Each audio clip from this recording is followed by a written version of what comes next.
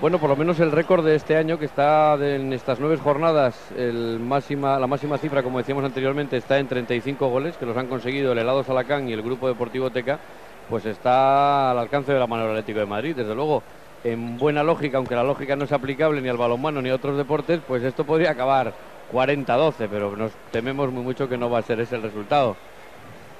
De alguna manera, quizá también el Helado Salacán consiga un récord negativo al si lleva esta marcha de seis goles en la primera parte y seis en la segunda, de récord anotador negativo, ¿no? Pues sí, el, récord anotador negativo, tengo aquí los datos, esta temporada está en 13 goles tan solo, que los han conseguido. Justamente ha sido el Atlético de Madrid el equipo que ha conseguido encajar en dos ocasiones tan solo 13 goles esta temporada, el equipo menos goleado en un partido. Fue frente al Puleva Maristas en el Magariños 23-13 y frente al Tenerife 3 de mayo 24-13 también. En cualquier caso, esa, cifra de 13 sí que está, por así decirlo, al alcance de mantenerlos si mantienen esa intensidad de defensa los hombres de Juan de Dios Román, que por cierto han salido pronto a la cancha. Comentábamos entre nosotros que no ha tenido que decirles mucho Juan de Dios Román, imaginamos, tal y como van las cosas.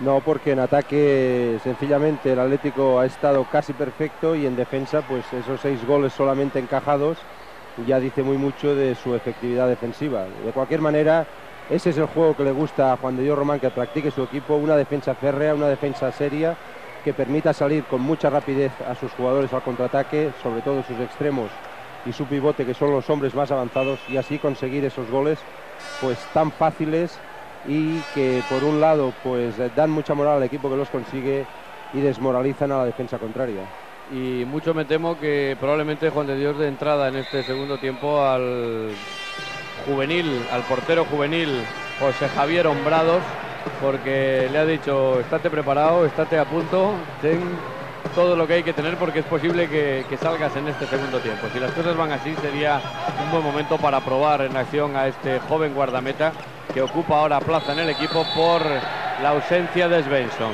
Ahora la primera tarjeta del partido para el Atlético de Madrid, concretamente para ese hombre Ángel Hermida que tienen ustedes a la izquierda, con el dorsal número 9.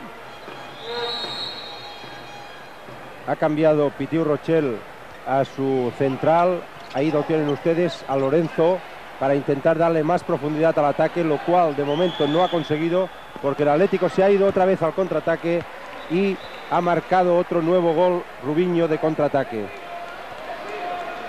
Ese es, eh, ese es el, ahí ven ustedes el pase perfecto de Cecilio a, Rubiño que se había ido desde su sitio a ocupar una posición de central y marcar ese nuevo gol. Jugando Lorenzo sobre Nacho Novoa, Mladenovic.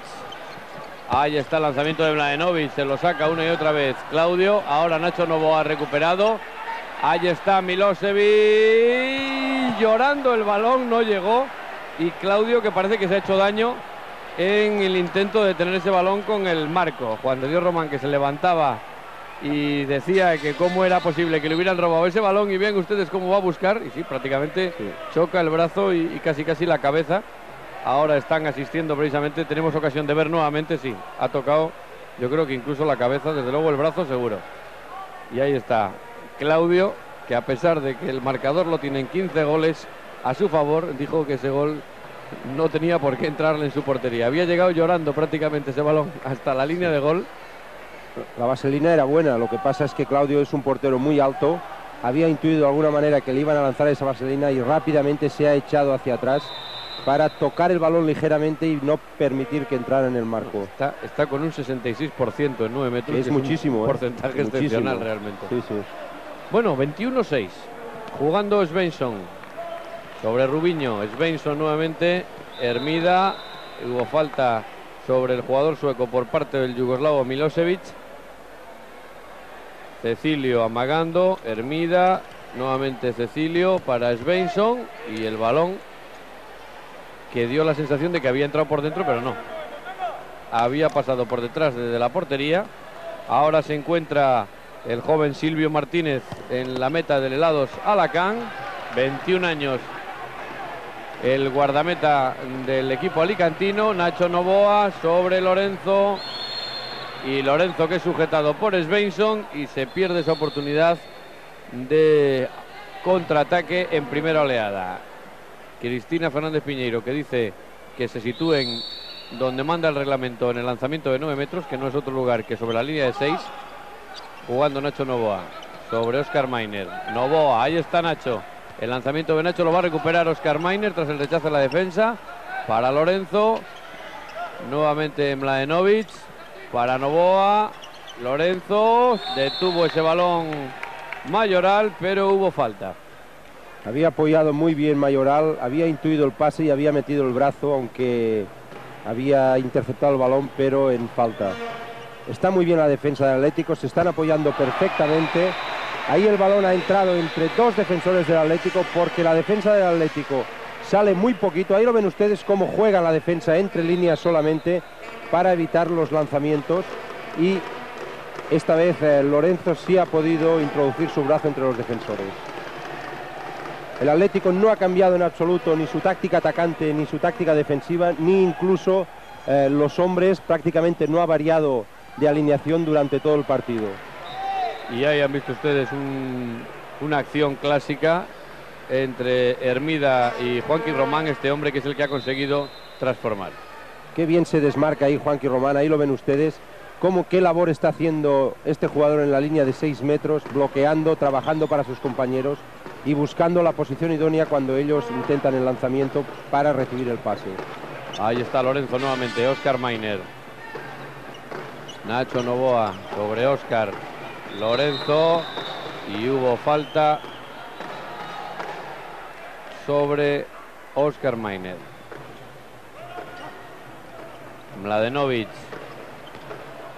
con Nacho Novoa, Mladenovic. El balón era para Milosevic, pero prácticamente no pudo ni moverse. Las torres del Atlético de Madrid, Chechu y Cecilio bloquearon al yugoslavo. Ahí está Mladenovic lanzando, no le entra absolutamente nada, tan solo lleva, no lleva ni un gol Mladenovic. Parece mentira que de un partido a otro pueda haber esa diferencia. Sin duda también puede ser la diferencia que hoy hay entre el equipo con el que se enfrentó el lado Salacán, que es el Michelin, que ocupa el último lugar de la clasificación con cero puntos, y el Atlético de Madrid, que ocupa el primero con 16. Pitiu Rochel, ahí tienen ustedes al técnico del equipo alecantino, su octava temporada cumple al frente del conjunto de Alicante, jugando Mladenovic y tarjeta amarilla ahora para el pivo del Atlético de Madrid, Juanqui Román. Sí, el Salacán ha imprimido mucha, mucha más rapidez en, su, en, su en su circulación de la pelota y eso parece que puede darle mayor efectividad. Vamos a detener un momento la narración de este encuentro porque primero unos mensajes publicitarios y después las noticias de las seis. De nuevo estaremos con ustedes dentro de unos momentos.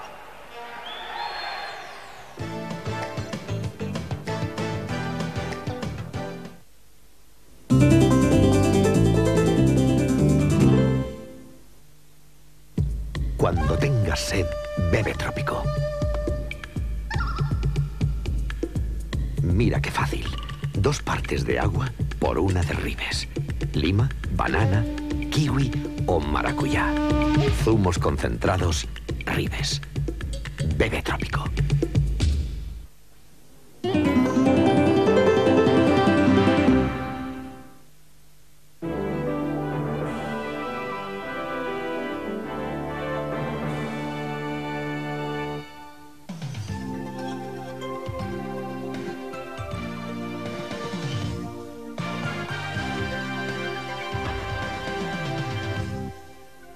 Parlamento soviético aprueba las propuestas de Gorbachev.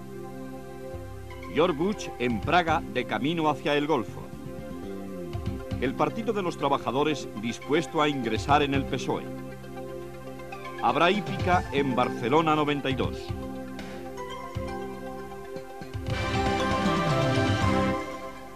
El Soviet aprueba la reforma de Gorbachev. Por amplia mayoría, el Parlamento soviético ha respaldado el plan de reformas del poder central propuesto por el presidente Gorbachev. Entre las propuestas se incluye la formación de un gobierno al margen del partido. Bush anuncia en Praga que se triplicarán las relaciones comerciales con Checoslovaquia. 60 millones de dólares para revitalizar el sector privado checoslovaco. El presidente norteamericano finalizará su viaje la próxima semana en Arabia Saudí. Baker sigue su gira. El secretario de Estado norteamericano ha pedido en Ginebra a sus colegas de Etiopía, Costa de Marfil y Zaire su apoyo para expulsar a Irak de Kuwait. Baker pedirá lo propio mañana en París a otros cinco miembros del Consejo de Seguridad. Preparativos de guerra. El Pentágono ha movilizado a otros 15.000 reservistas con destino al Golfo. Mientras prosiguen las maniobras estadounidenses frente a la frontera de Kuwait, continúan llegando a Arabia Saudí tropas aliadas.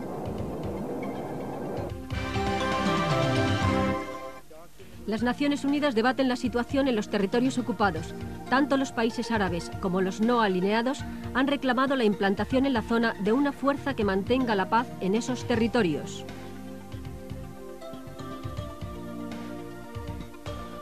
El gobierno israelí intensifica las medidas de seguridad. Mientras los palestinos celebran el segundo aniversario de su declaración de independencia, se ha endurecido el toque de queda en los territorios ocupados de Gaza y Cisjordania.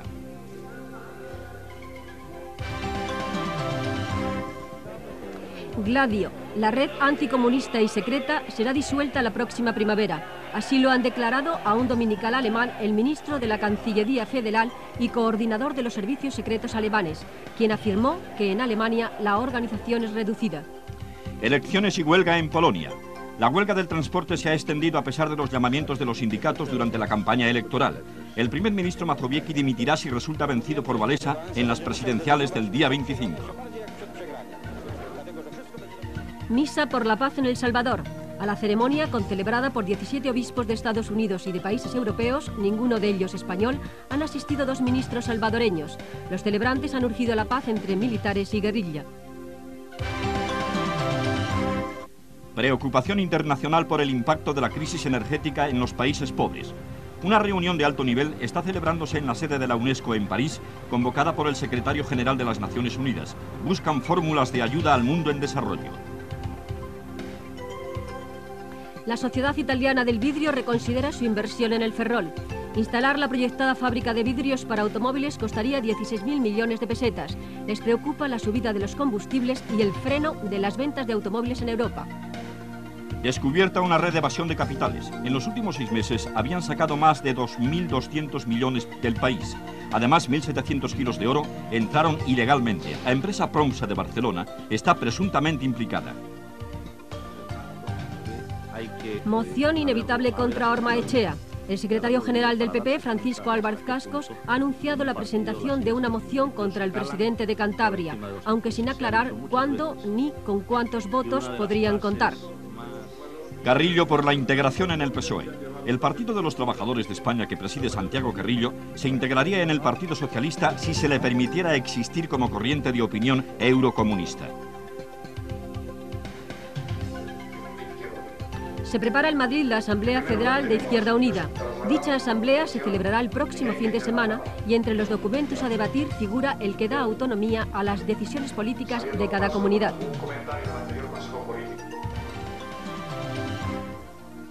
Continúa en huelga el personal de los teatros nacionales como medida de presión para mejorar la subida salarial ofrecida por el Ministerio de Cultura. Saludos de nuevo desde el Polideportivo Municipal de Alicante, donde estamos ya en el minuto 12 y medio del segundo tiempo de este encuentro entre el helado Salacán y el Atlético de Madrid. El Atlético de Madrid que ha conseguido incrementar la diferencia en el marcador, 25-9 es ahora el tanteo favorable al equipo madrileño. Están viendo ustedes a este hombre, pero Milosevic, que acaba de recibir la primera exclusión temporal, dos minutos que se ha producido en el encuentro. En el tiempo que hemos estado desconectados de ustedes, diremos que prácticamente ha habido una sucesión de imprecisiones por parte de ambos equipos, con buenas intervenciones de Claudio y, que, y también de Silvio, el guardameta del helado Salacán en este segundo tiempo. Y también decirles que se ha producido, como hecho anecdótico, el debut en la división de honor del balonmano español del guardameta suplente del Atlético de Madrid, José Javier Hombrados, que ha salido a intentar detener un penalti al yugoslavo Milosevic sin que tuviera fortuna en esa única acción en la que ha intervenido en el encuentro. De momento, minuto tres y medio de partido, 25-9, se ha bajado el pistón, diríamos, de goles en estos minutos del segundo tiempo que llevamos, ¿no, Kiko? Sí, se ha bajado el pistón porque de alguna manera el Atlético sí ha seguido defendiendo con la misma intensidad, pero el, el helado Salacán ha incrementado su balance defensivo y no ha permitido al Atlético realizar los contraataques de la primera parte y de alguna manera pues tampoco el Atlético en ataque ha estado al nivel de efectividad que lo ha hecho en el primer periodo, cosa por otra parte normal y lógica debido a esa diferencia que existe en el marcador. Bueno, por de momento como datos, ahora consiguió marcar José María Masip, el primer gol de su cuenta particular, es el tanto número 10 para el Helados Alacán, que lleva camino por lo menos de, de no estar entre esos equipos que menos goles han conseguido en un partido esta temporada. Han conseguido ya cuatro en este segundo tiempo, recordemos tan solo seis en el primero. Jugando ahí Svensson con Alberto Urdiales. Svensson, el lanzamiento de Svensson lo detuvo Silvio, que es una de las razones por las cuales el Atlético de Madrid no está aumentando las cifras de su tanteo. Prácticamente jugando sin yugoslavos. Ahora sí sale Milosevic a la cancha. El helado Salacán y desde luego la de Novit absolutamente desconocido. 12 goles el último partido. Creo que lo hemos repetido alguna vez hoy por la tarde. Ni uno solo hoy frente al Atlético de Madrid. Precisamente un jugador que se distingue por ser un goleador nato, por ser un jugador que tiene un brazo importantísimo, que tiene un lanzamiento muy, muy variado, que lanza en suspensión, que lanza en apoyo, que lanza de cadera, pero hoy hay que tener en cuenta que la defensa del Atlético de Madrid eh, es de las mejores de España. Hoy por hoy yo creo que la mejor, por lo menos en lo que en lo que hemos podido ver partidos de liga en esta primera fase en los dos grupos, yo creo que es la mejor defensa. por Sí, sí, sí. La defensa del Atlético se está beneficiando quizá también de, la, de los pocos lanzamientos que está efectuando el lado Salacán desde la línea de 9 metros, lo cual le permite quedarse mucho más atrás y eso le da eh, posibilidad de que los apoyos laterales sean superiores y tener mucha más efectividad eh, su defensa. Mayoral consiguiendo transformar en ese lanzamiento. Continúa incrementando la diferencia al Atlético de Madrid. 26-10 en este momento cuando se cumple el minuto 16 del segundo tiempo. Qué bien lo ha hecho Mayoral. Ahí lo ven cómo tira de semi-rosca. Estaba bastante cerrado, pero eh, aguantando mucho la salida, ha tirado un poquito de semi-rosca dando efecto al balón que ha entrado en la meta del helado Salacán. Jugando Lorenzo sobre Milosevic con muchos problemas porque Ricardo Marín ahí estaba poniendo toda la resistencia que debe hacer un defensa, recuperó Chechu, ahora el propio Ricardo Marín sobre Mayoral, 6 metros para Mayoral y dentro.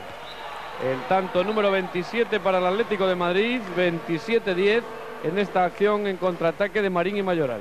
Sí, en cuanto el helado Salacán pierde un balón, como en este caso Ulpiano Román, que ha prácticamente entregado el balón al Atlético y le ha permitido pues eh, irse de contraataque y Mayoral con esa técnica que ustedes han visto pues ha colocado el balón dentro.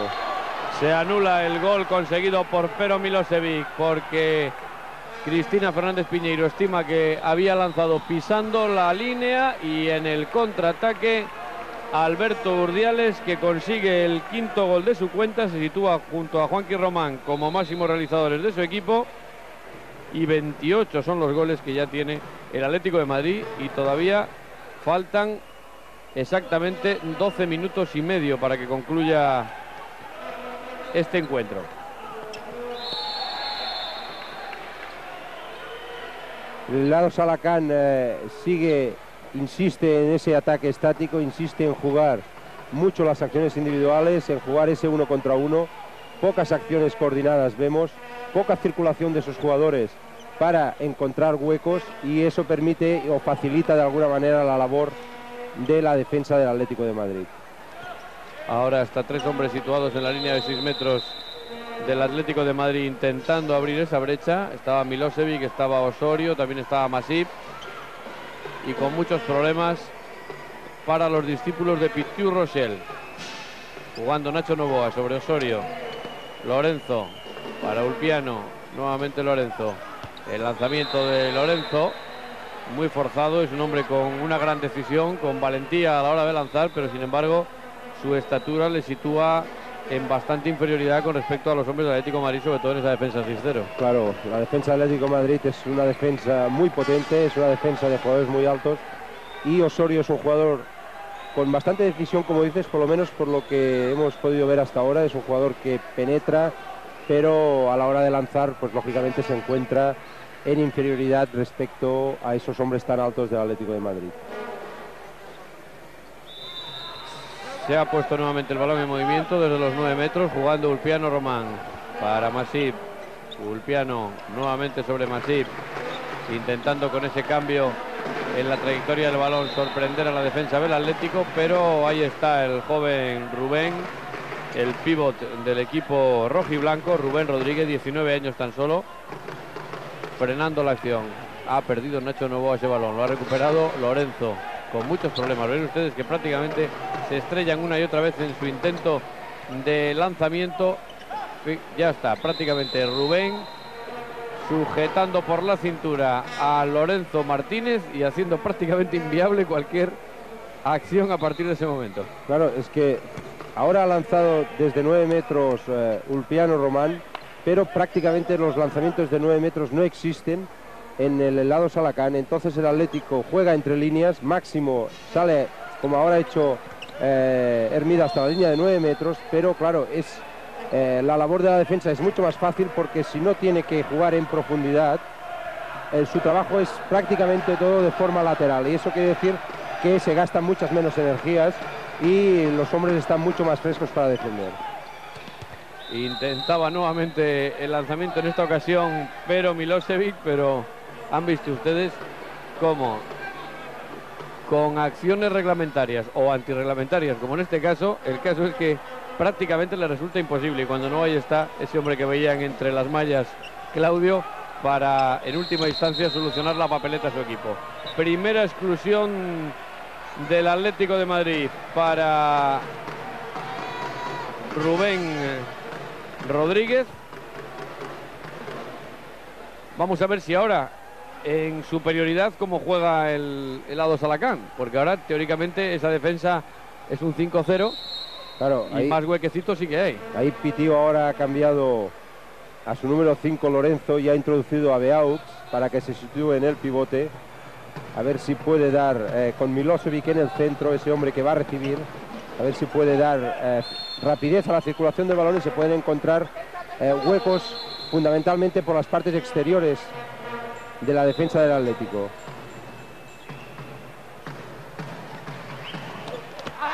Nuevamente ha sido Milosevic quien elevándose ha conseguido su sexto gol, el undécimo para su equipo, 28-11. Ahí la defensa del Atlético, fíjense cómo se queda atrás, cómo saltan los dos jugadores para bloquear el balón, pero Milosevic ya estaba muy arriba, ha hecho una finta con su brazo y nada ha podido hacer Claudio para detener ese balón, que de cualquier forma Milosevic ha lanzado prácticamente desde los seis metros. Sí, sí, ha lanzado un poco a bulto casi. Exactamente. Porque no, no tenía visibilidad ha visto el hueco, ha marcado y el lanzamiento ya prácticamente cuando estaba descendiendo. 28-11, estamos a falta de 8 minutos y medio para la conclusión del encuentro. Hermida pugnando con Osorio, finalmente Mayoral ha recuperado ese balón, nuevamente Hermida y jugando en inferioridad, qué gol acaba de conseguir el Atlético de Madrid por medio de este hombre, de Alberto Urdiales. Qué bien Hermida ha estado en ese pase prácticamente sin mirar, ahí lo verán ustedes, fíjense cómo le dobla el balón, cómo ve que su compañero circula y le dobla el balón y ahí está eh, Urdiales metiendo ese gol con, con su muñeca. Una muñeca, por otro lado, muy buena. Había marcado excesivamente ese envío Ulpiano y ahora por si acaso la defensa no conseguía bloquear el balón. Claudio, como no, haciendo lo propio y deteniendo el balón. Claudio precisamente va a retirarse y saldrá Hombrados, José Javier Hombrados.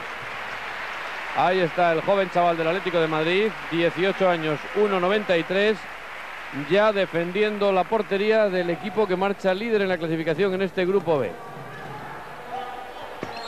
Y el gol de Rubén Rodríguez, el trigésimo gol del Atlético de Madrid. No, no ha subido al marcador el gol de Rubén fue invalidado por pisar Y vamos a ver si ahora la acción de Osorio, sí, el del helado Salacán sí ha subido al marcador. De un hipotético 30-11 hemos pasado al 29-12. Y ahí ven ustedes cómo se abre el extremo, aprovecha ese mínimo hueco, cómo se abre y cómo coloca el balón por el ángulo largo entre la pierna y el brazo del joven Hombrados. De cualquier manera, eh, el partido está decidido, el Atlético está dando entrada, Juan de Dios está dando entrada a sus jugadores más jóvenes, quiere que se habitúen a esa división de honor para los partidos más difíciles y pues bueno, sigue el Atlético encontrando a Juanqui Román en el pivote que está junto con Claudio, yo diría que han sido los dos jugadores que han marcado la diferencia en este partido. Y el helado Salacán pues está jugando pues bueno un poquito la honrilla de este partido para no salir con una goleada de escándalo. Ahí está, ahora sí, Rubén Rodríguez, que ha sustituido a Juanqui Román en el pívot del Atlético de Madrid, consiguiendo ese gol trigésimo que anunciábamos anteriormente. Ahora sí, 30-12 a falta de 6 minutos para el Atlético de Madrid. Me parece que no vamos a tener récords ni de equipo menos goleado ni de equipo que ha encajado más goles o más realizador, según se mire. Le quedan seis goles al Atlético de Madrid para superar esa marca que, como repetimos, es de esta temporada. En anteriores temporadas se han conseguido cifras más elevadas. Y el lado Salacán está tan solo uno de esa cifra de 13, que precisamente el Atlético de Madrid ha conseguido mantener frente a dos equipos ya esta temporada. Fruto de esa buena defensa que hemos venido insistiendo, hacen los hombres que este año vuelve a dirigir Juan de Dios Román, jugando Nacho Novoa sobre Ulpiano para Milosevic. Ulpiano, Novoa, nuevamente entrando Osorio y ahora tapó muy bien el hueco José Javier Hombrados en su primera intervención afortunada en ese lanzamiento de Juan Francisco Osorio. El gol de Urdiales. Una y otra vez las circulaciones de Urdiales desde su posición de extremo derecho. Ahí lo ven cómo, fíjese cómo circula prácticamente hasta el otro lado y cómo encuentra ese balón que le lanza su compañero en el otro extremo y cómo le da de muñeca, una muñeca que funciona a la perfección en, Urdiales y mete el balón dentro de la portería.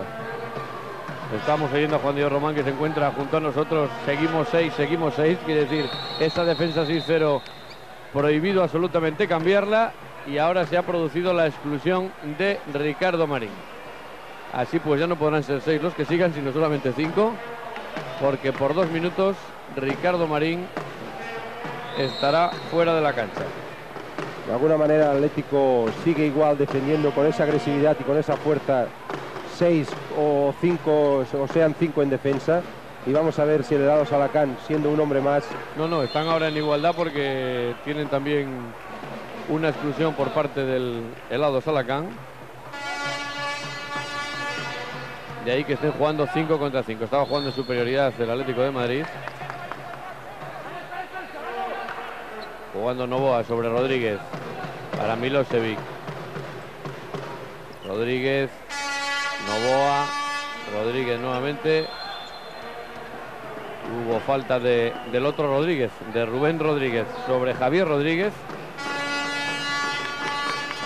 Osorio. Novoa intentó el uno contra uno Osorio. Y hubo falta de Mayoral y de Hermida, la Limón.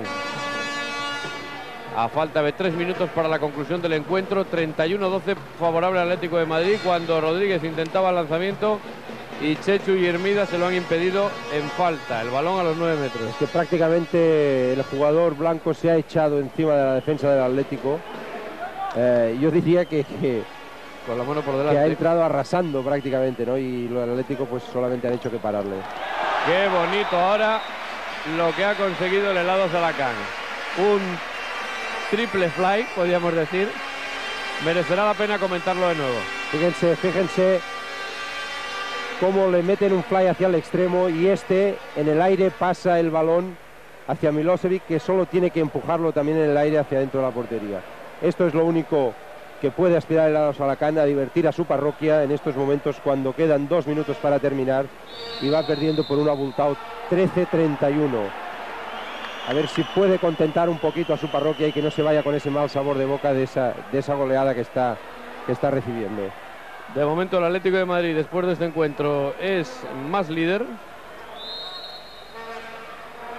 Con esta diferencia de goles que va a conseguir aquí en Alicante, jugando Chechu para Hermida.